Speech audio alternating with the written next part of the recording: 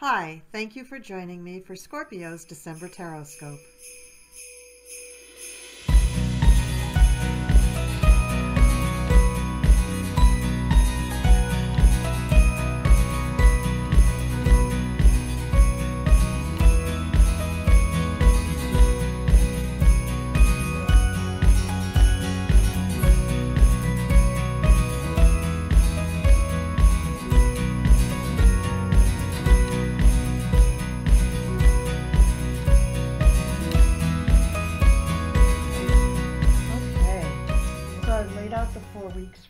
One, two, three, four.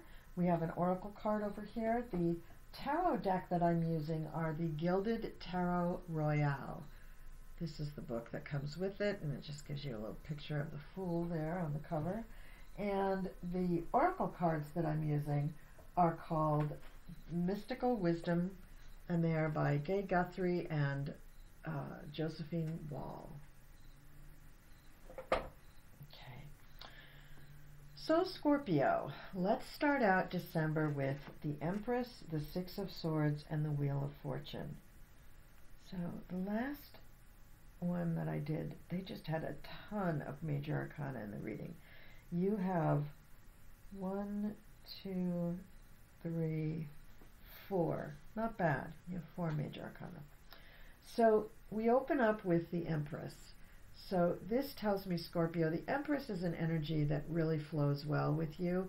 Although we associate Venus, associate Venus with Taurus and Libra, Venus also really kind of slides into Scorpio kind of well.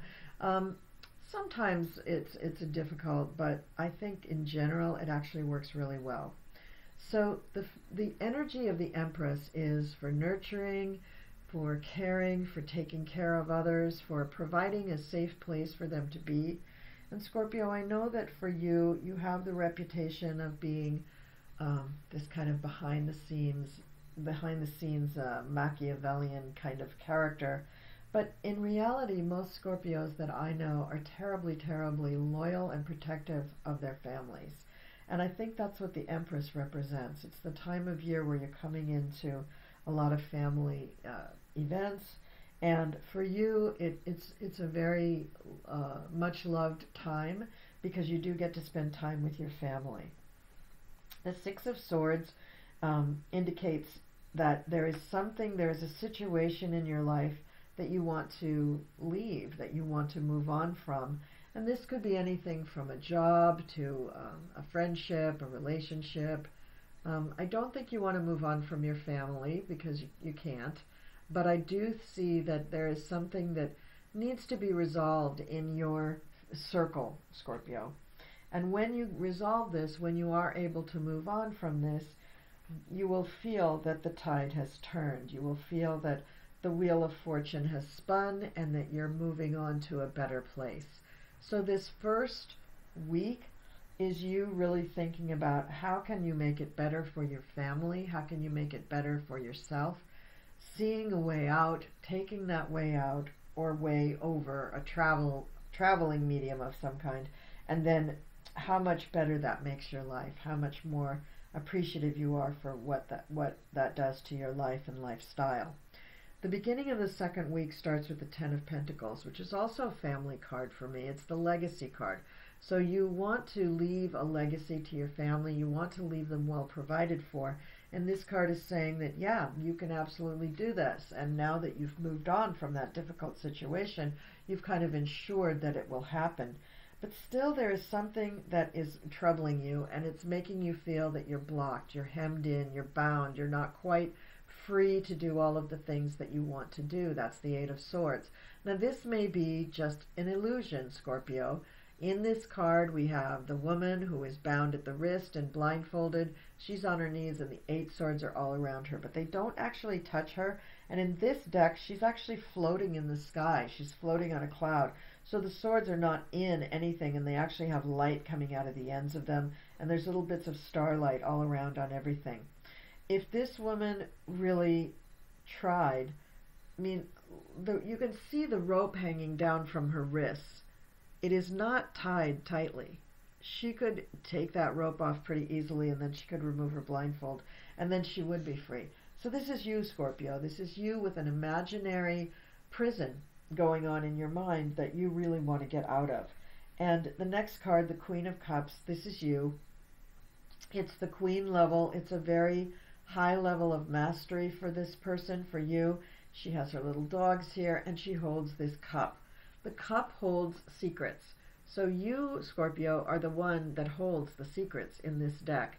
You are the one who knows exactly how to get out of this bind. And so why you're resisting, I don't know, but for some reason you're allowing yourself to stay in this situation. And even in the third week, we still have you stuck, unable to make a decision. You've got the Two of Swords and the Two of Wands. So the Two of Swords is the blindfolded person with the two swords crossed, and the Two of Wands is the person at the crossroads with the two wands indicating the two ways that they might go. When you have choices like this, Scorpio, especially Scorpio, you just have to go with your gut. You're very intuitive. You operate on that higher level a lot, and now is really the time to do it. Don't keep yourself locked up in bondage, and don't think about that. If you're trying to be self sacrificing or very noble, stop it. That isn't you. You are a person who uh, makes their own way, who, who carves their own path. You don't let anybody really push you around. You're a fixed sign. You may be a water sign, but you're a fixed sign. And the Two of Swords and the Two of Wands are showing you that you have choices you can make. You can make them intellectually, you can make them from the heart, but you're going to make them. So you're going to make the choices of where you want to go next. And here we have the Temperance card. Now the Temperance card is, is telling you, take it easy, don't be too wild with your choices. Don't get too carried away with things. Don't do anything impulsively. Think about it. Take the middle road. Take the moderate way. Be moderate. Be medium. Don't be too high or too low. Don't be too hot or too cold. Don't be too dark or too light. And Scorpio, I know for you, because you're very, very intense and passionate, this is hard to do. But this is what you need to do. You need to take the middle way. And maybe when you're looking at those secrets that you have in the cup, maybe you can allow yourself to know what's coming and and to um, school yourself so that you you can you can sort of comfort yourself with the idea that well I do know what's coming and so I don't have to be quite so extreme in my choices. Maybe that will help you. In the fourth week we have the Queen of Swords. So this is not you. This is somebody that is close to you. She is an air sign, Gemini, Libra, or Aquarius and she is dispassionate. She's unemotional. She makes she makes her decisions from the head. She has a heart, but she makes her decisions from the head. And this is kind of what you need to do now. You need to be a little more unemotional about things. And I know, Scorpio, again, I know this is hard for you to do. But think about who's making the rules here. You probably want to follow these rules. You probably still want to be in this person's good graces. This is the Hierophant. This is the rule maker, the All Father. This is the person who puts the roof over the head, gives you the job, gives you the money, makes sure there's food in the fields and food for you to eat. So you don't want to piss off the Hierophant, and you're not the Hierophant. You are the Scorpio.